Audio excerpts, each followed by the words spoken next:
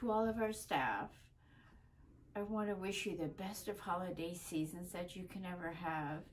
It's been quite a year, and you have offered so much to the participants and children and families and everyone that we serve.